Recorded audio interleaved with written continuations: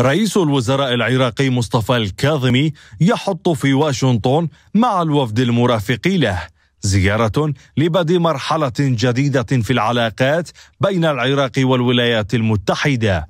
مرحلة تتمثل بالجولة الرابعة من الحوار الاستراتيجي الذي يمثل صفحة جديدة في الأبعاد الجيوسياسية والأمنية من منظار عراقي. سيكون إخراج للقوات المقاتلة وستبقى قاعدتان فقط معلومة الأعداد ببقاء مستشارين للدعم اللوجستي فقط. مع أطر تفاهمية وهو ما نأمله أن يكون حاضرا في هذه الزيارة. وعلى ما يبدو فإن بغداد وواشنطن قد حسمتا أمرهما بشأن طبيعة بانوراما التواجد الأمريكي.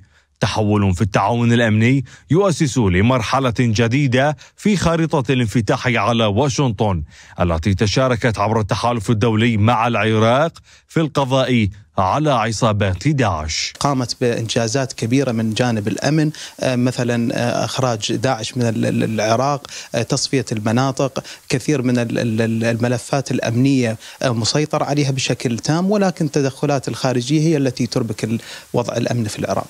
زيارة رئيس الوزراء إلى واشنطن والجلوس إلى طاولة الحوار الاستراتيجي الأخيرة.